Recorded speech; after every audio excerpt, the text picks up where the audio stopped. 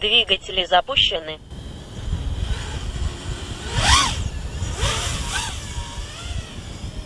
У повітря все частіше стали підійматися безпілотні літальні апарати. Поки що доволі теплий лютий дає змогу пілотам дронів розпочати тренування для участі у весняних змаганнях. Втім, не лише спортсмени взяли до рук пульти керування. Сьогодні у повітрі, окрім спортивних сетапів, можна побачити доволі важкі апарати, вага яких перевищує 20 кілограмів. Это э, либо съемочные дроны, серьезные съемочные дроны, которые несут в себе зеркалку.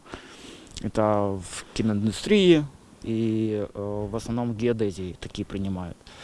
Но я не вижу... Они, во-первых, тоже не будут летать. Если это нормально профессиональный э, оператор дрона, он никогда не будет летать возле аэропорта. Професійний спортсмен, пілот дрона Антон Кудінов недарма каже про аеропорт, адже це місце є одним із заборонених для польотів безпілотників. Повний перелік заборон міститься у наказі Державної авіаційної служби. Главне условие – разграничительный критерій 20 кілограмів.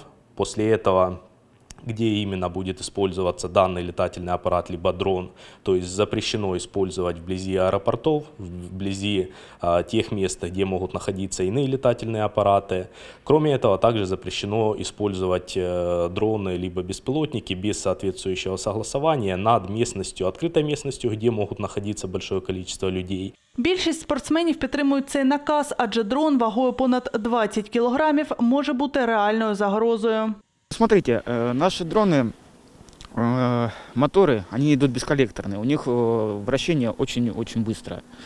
То есть, да, пропеллеры тут пластик, но они могут, скажем так, повредить человека. А те законы, которые там свыше 20 килограмм, я считаю, что это правильно по одной простой причине. Это достаточно тяжелый дрон.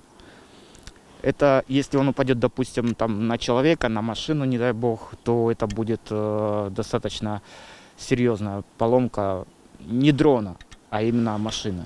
Перелічені заборони стали необхідними через недостатню урегульованість використання безпілотних повітряних суден. Подібне повідомлення ще влітку розмістили на сайті Державіаслужби. Окрім того, у повідомленні йшлося про те, що чинна нормативна база ускладнює експлуатацію безпілотників з комерційною спортивною метою або у якості хобі. За дозволом на експлуатацію дрона вагою понад 20 кілограмів потрібно звернутися з листом у довільній формі за разовою заявкою в Украероцентр за 10 робочих днів до запланованого польоту. Світлана Ячиніна, Евген Шинкаренко, Агентство телевидения новости.